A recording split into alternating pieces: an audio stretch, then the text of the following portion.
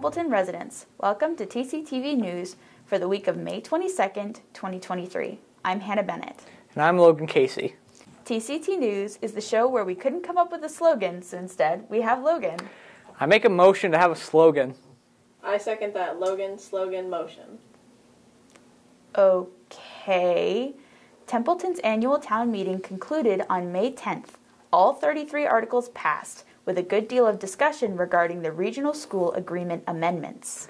I don't think it's very well described, and it's not clear what changes to the budget are being made, nor is it clear what changes are being made for our kids. The Templeton Town Meeting passed an amendment to the regional school agreement that all capital costs, such as school building maintenance, be both shared by both uh, Templeton and Phillipston, proportioned by the number of students. Phillipston has not put the regional school agreement on his town meeting warrant. Next steps remain unclear. What we have right now is an agreement that was done in 2017 that DESE never approved. We need to go backwards to the 2012-2011 timeframe, and then that goes back one more step to 2007, prior to the Education Reform Act. We are not in compliance unless we come up with a current and active regional agreement amendment. Also at town meeting, Laurelview Road is finally made a public way.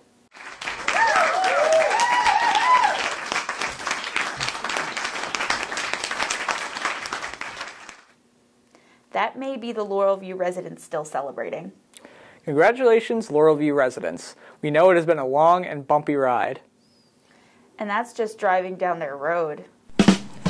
You can watch recordings of the annual town meeting on TCTV's YouTube page and Channel 8. Uh, coming up this week, the following meetings will be broadcast live by TCTV from Templeton Town Hall. Templeton Select Board will meet May 24th at 6:30 p.m. and the Advisory Committee will meet on May 25th at 6:30 p.m. On the topic of town government, the results of the 2023 Templeton Town election are in. And here are the winners.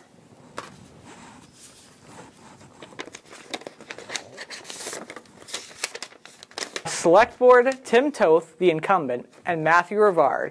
Board of Assessors, Sean Case and George Barnes. Board of Health, Laura Hogue. Cemetery Commission, Matthew McDonald. Community Preservation Committee, John Henshaw. Light and Water Commission, Dana Blaze. Moderator, John Graves. Write-in candidate, Planning Board, Charles Carroll II and Franklin Machete. Sewer Commission, Mark Machete. Uh, NRSD Templeton, Henry Mason, Sean Case, and Shauna White. NRSD Phillipston, Danielle Boucher Brunel, and write-in candidate Linda Langevin. Congratulations to all of the candidates and thank you for your dedicated election workers. Did you ever think of running for a town office, Logan? I don't know. Ask me a question about a town issue. Okay, what do you think about the town budget passing?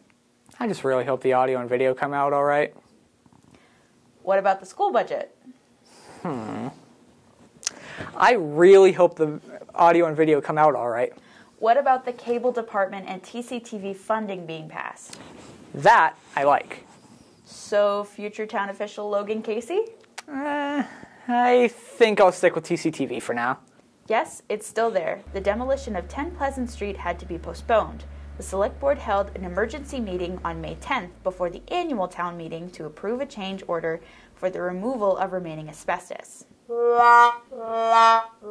Complete construction of 10 Pleasant Street is promised soon. For more updates on the project, visit the Templeton Town website, templetonma.gov. In case you didn't know, the much anticipated annual town report for fiscal year 2022 is available. You can pick up a free copy from the Selectman's office at Town Hall. It is also available at the town website, templetonma.gov. What fiscal year are we in now, Hannah? Shh, let's wait for the TCTV news quiz. Uh, this past weekend, the Gala Art and Music Festival was held at Red Apple Farm. Uh, the event featured numerous local musicians such as the Big Random and Sweet Euphoria, as well as many quilt painters and quilters. You can find upcoming gala events and more information about the Gardner Area League of Artists at galagardner.org. In other news, get ready. The Templeton Farmers Market returns to the Boynton Library grounds this Thursday, May 25th from 4 to 7 p.m. Vendors are welcome without charge.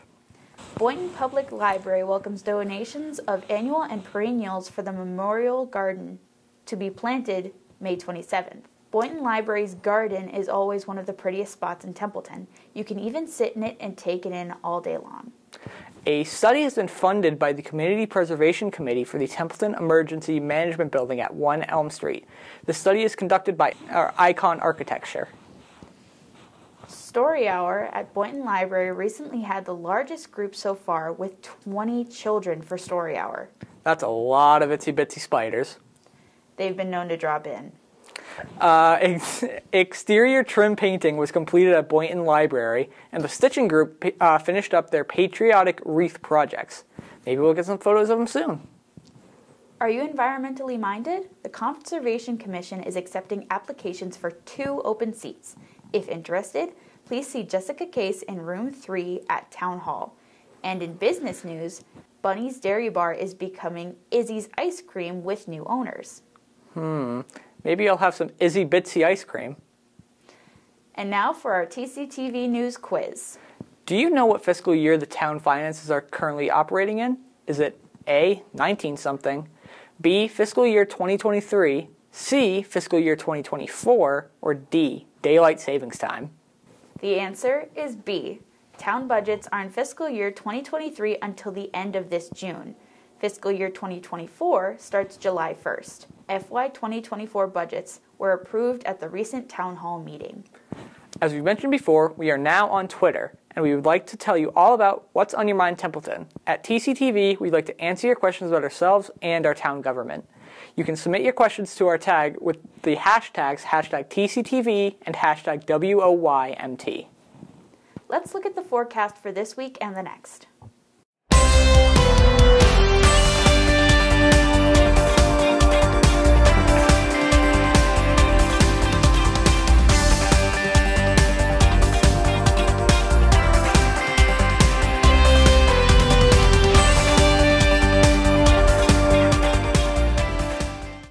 Finally, we have the health and wellness report from the Board of Health for this week. If you take an at home COVID test and test positive, please call 978 602 2356 to report. At home test kits are still available at Templeton Town Hall. Do we miss anything? I feel like we've got everything, but I'm not so sure. I'm sure someone will tell us if we did. Not wrong.